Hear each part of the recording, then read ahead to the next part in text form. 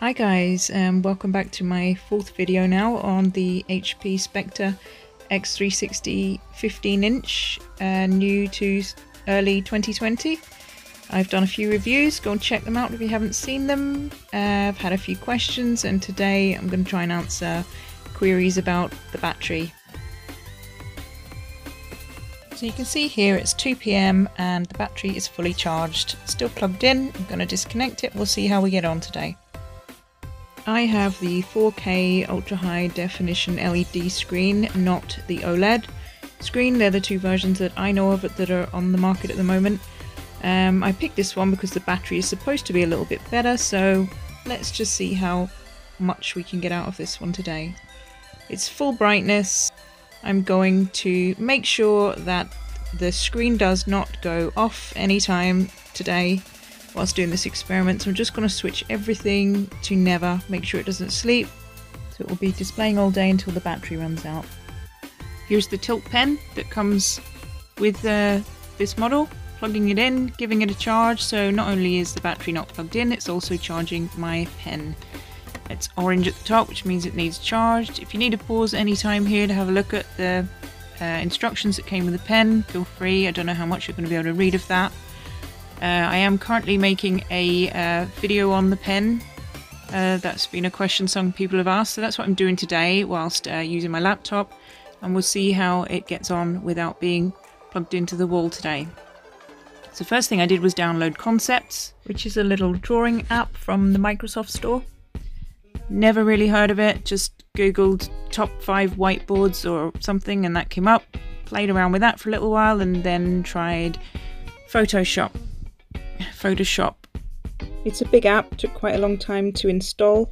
I think it took about five minutes to load actually. The fan came on a little bit for a couple of minutes. Um, fan is not noisy. I don't think it's noisy at all. Uh, I think it copes quite well, and even when the fans are on, it doesn't feel like the machine is that hot and they don't stay on for too long, which is another good thing. So I played around on Photoshop for a little while until this weird thing happened. Not sure if that's a graphics issue or just loading issue or whether it's Photoshop or not, but it was enough for me to lose interest anyway. So I had a quick check of my pen and ink settings and noticed I can switch it to left-handed, so I'm going to give that a try. And I moved over to Microsoft Windows to draw some lines for my next video hopefully. I have seen some of the reviews on this pen and some people saying it's absolutely awful. I've never had any experience with a pen like this before, so I'm not sure what it's supposed to do, but to me it seemed to do what I thought it was meant to do. I'm starting those lines there, pressing lightly and then pressing down harder as as I go. So computer was used for doodling, researching, downloading, um, YouTube, loads of YouTube. What else have I done today? I have. Uh, oh, I went onto Facebook because apparently I won a prize in the Tombola and I had to claim that. I charged the tilt pen, I charged my mobile phone for half an hour from the laptop.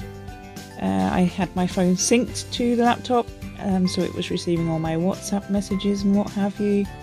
Um, I then went on to download some video software, VideoPad, and I transferred 16 gigabytes worth of files from my phone to the laptop via the Thunderbolt port.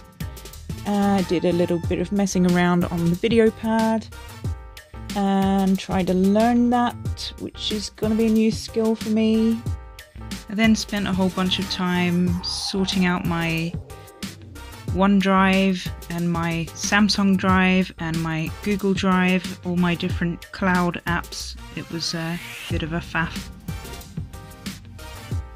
And here we have it 1725, 48% battery power. That's the video shop thing that I downloaded. So I played around on that for quite a while, chopping and changing photos, switching directions because half my videos had recorded upside down. But I must have been having a lot of fun because before I knew it, it was asking for some juice, which I wouldn't give it, and eventually at about 5% it switched itself off. Summarising all that, it's 5 hours of battery time whilst putting it through its paces, downloading, uploading, uh, moving big files, browsing, watching videos, some rendering, some charging, speakers playing at around 50%, and screen on full brightness.